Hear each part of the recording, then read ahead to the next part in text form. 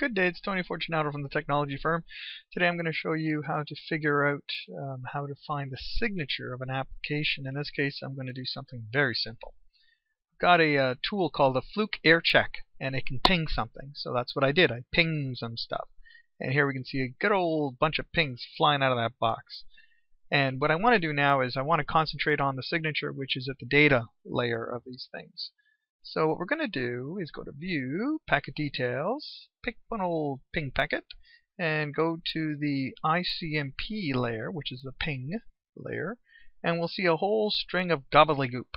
So unfortunately, uh, this is all hexadecimal and may not mean much to most of us humans, and we'll have to take it a step further. So I will now look at the packet bytes, and there it is.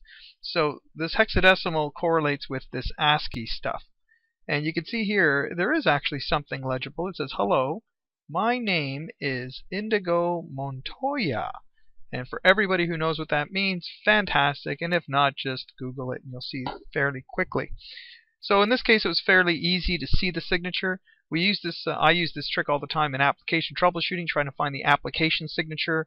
Uh, sometimes it's a binary stream, sometimes it's a code, sometimes it's an application bit, some kind of pattern that we can use to track an application, a transaction, or whatever we need to track. That's it. So hope that helps. Have a good day. Bye for now.